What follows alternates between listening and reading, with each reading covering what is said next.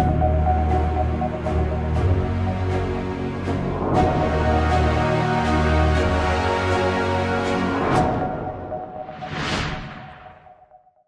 Manche Menschen glauben, ihr Glaube sei es, Gnade bei Gott zu erlangen. Ihr Glaube dient dazu, ein Leben mit einer gesunden Perspektive zu führen, um seinen Namen bis zu diesem Tag Ehre zu machen. Wie dein Glaube gibt es eine Einheit des Glaubens. Er würde mit uns nicht darüber sprechen, zu glauben für einen besseren Job. Es gibt einen Aspekt, des Glaubens, der für einen besseren Job glauben kann. Aber wenn er von der Einheit des Glaubens spricht, spricht er nicht einmal von Heilung. Er spricht über den Blickwinkel, nach dem wir leben. Jetzt kam er. Wir sollen alle das Warum dahinter verstehen. Zum Beispiel, von was leben wir? Wofür leben wir? Warum sind wir heute Morgen aufgewacht? Wir können alle dasselbe Verständnis und eine Einheit im Glauben haben. Wir sind nicht aufgewacht nur um zu überleben. Wir sind nicht in der Hoffnung aufgewacht, dass unser Ehepartner etwas Nettes sagt. Wir sind nicht nur aufgewacht in der Hoffnung,